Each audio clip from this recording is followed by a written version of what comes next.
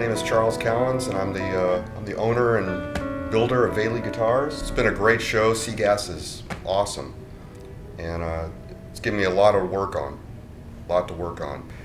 It's a great chance to see how the business works. How do you sell guitars? But last year was great. Uh, this year's even better.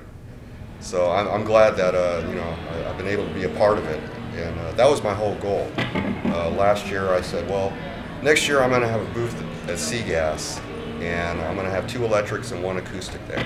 And I had no idea what I was doing. You know, I walked around and, and they had some small builders here, and I was talking to them, and they assembled all their guitars out of kits, and um, I, I, thought that they should do it from scratch.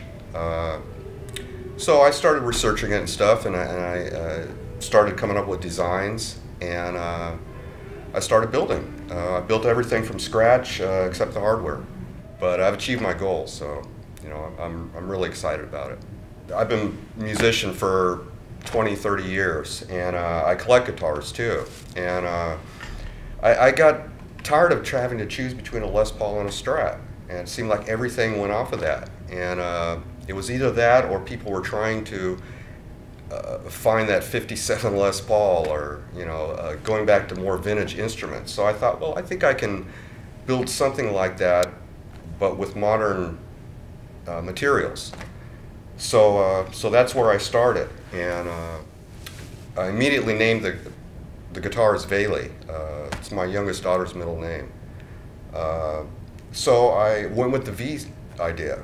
So I tried to put as many V's on here as possible. You can see the curves right here. This is a, is a V on, on my other uh, hollow body model. Uh, it's, it has a binding on here and it's cut out. You can see it a little better. Uh, I put the V's on the fretboards. These are done freehand. Uh, I've got my, came up with this V logo down here. You know, I, have had a chance to talk with the people that make uh, the pots for that. That make the strings, that make the pickups. So it, it's great to have that interaction with, with people who uh, I use and I'm part of their business as well. We're all in this together. Well, I've noticed that uh, uh, there's a lot of builders out there, a lot of small builders that are that are uh, uh doing a lot of great things, uh, and I think somebody's going to break through.